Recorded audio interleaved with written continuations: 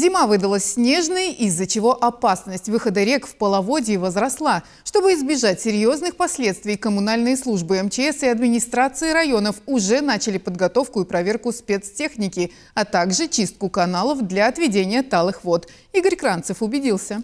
А это костюм.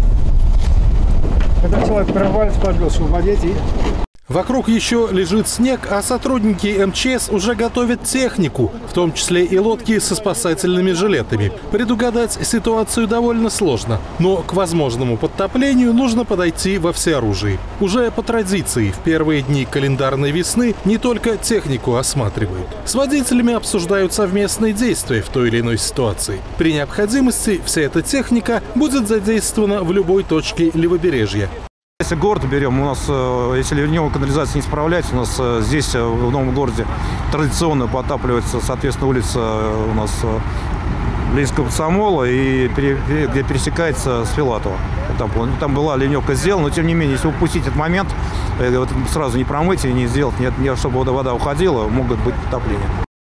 Только в Ульяновске и пригородах в зону возможного подтопления от паводковых вод попадают 123 частных дома. Но опасность представляют и талые воды.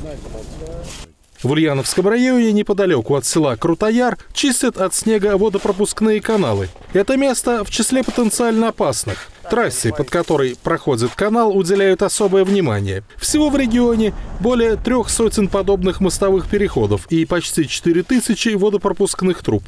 Здесь пару километрах деревня Русская Беденга. Здесь находятся озера, пруды, озера. Не знаю, как правильно их назвать. И это было летом, не выдержала дамба. И там полностью смыло. Полностью. И деревня была несколько дней отрезана от мира. Там ну, сейчас мост То есть есть вероятность, что и весной может что-то подобное произойти, если не убрать? Ну, конечно, да. Поэтому мы и проводим плановые мероприятия противопаводковые. К возможным паводкам подготовили более 600 единиц различной техники. Численность специалистов, которых могут задействовать для ликвидации ЧП и их последствий, около 6 тысяч человек. Противопаводковые меры на особом контроле у властей региона.